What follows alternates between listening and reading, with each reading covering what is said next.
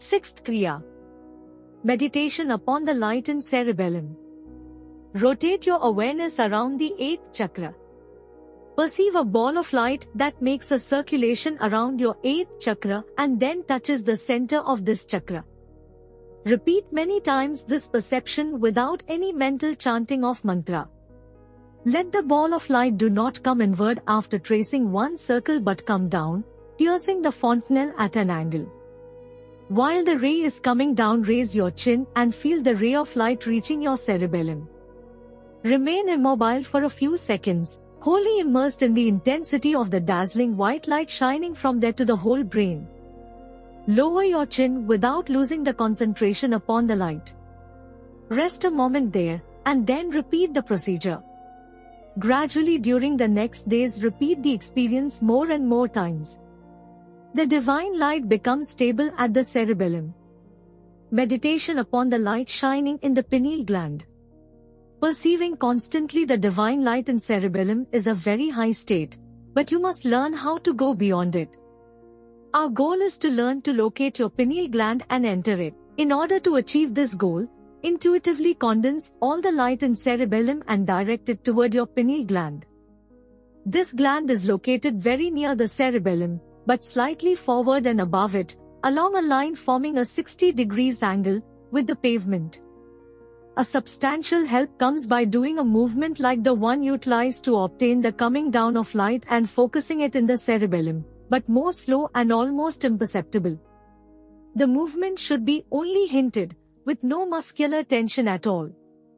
The last immersion in the light happens after this slight movement, when you are almost immobile, there is a sort of internal tension that guides you intuitively toward the pineal gland.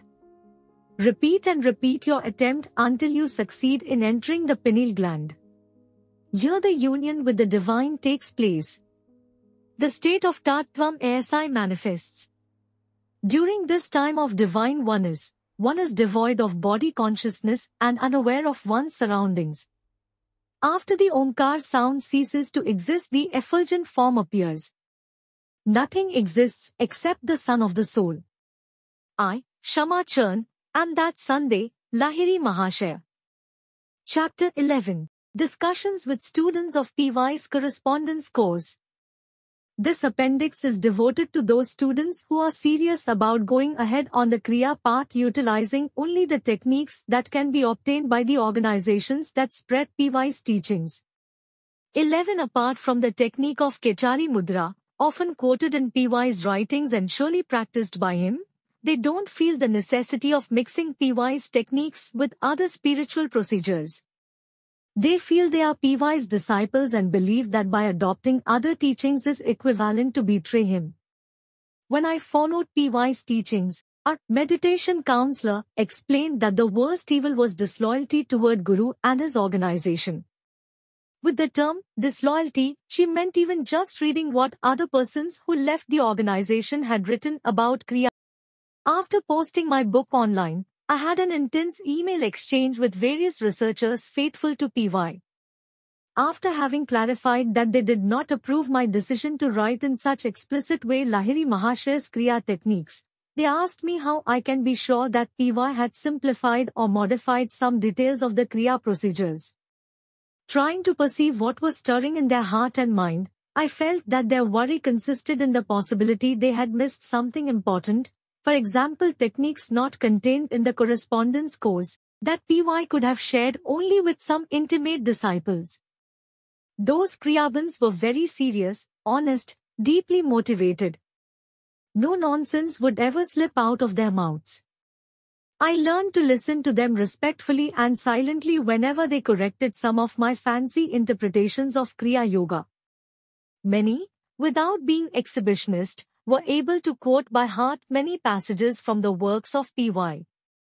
They had studied all the Kriya material written or dictated by P.Y. and often remembered verbatim key quotations from that material. They had read and reread through those texts several times trying to decode them. They always struck me with their extraordinary commitment to a regular practice of Kriya. Although unsatisfied with their understanding of the subtle mechanism underlying the Kriya procedures and tormented by many doubts, they never dismissed the practice. It was clear that they were following the Kriya path not for esoteric curiosities, not to find an alternative cure to anxiety, depression, but for one reason only, to follow and realize the spiritual path so fascinatingly delineated in PY's autobiography. The greatest part of our discussions concern the higher Kriyas. This is perfectly explainable. To many Kriyabans the crisis with their Kriya organization began when their request of having a seminar on the higher Kriyas received an incomprehensible, anachronistic no. The purpose of that seminar had to be not only to demonstrate the technical details but also to give a theoretical scheme, providing devotees with resources to conceive and subsequently improve their routine. Every student wanted at least to see how such techniques were performed.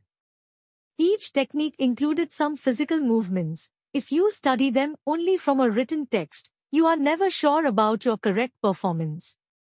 The meetings organized to review the basic teachings, Kriya proper plus Hong Sau and Om techniques, were always a source of inspiration. The disappointment of not getting this opportunity also in the field of the higher Kriyas was unbearably bitter. We had inspiring conversations, the purpose of this appendix is to refer in synthesis the main points of those conversations. I am confident they contain interesting information. The synthesis is divided into four parts. I. A rational approach to Yogoda and first Kriya techniques.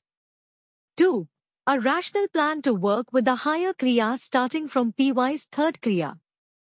3. The control of the mind during the day is a necessary prerequisite to master pranayam, control of energy. A rational approach to Yogoda and first Kriya techniques. There are different ways of planning a Kriya routine.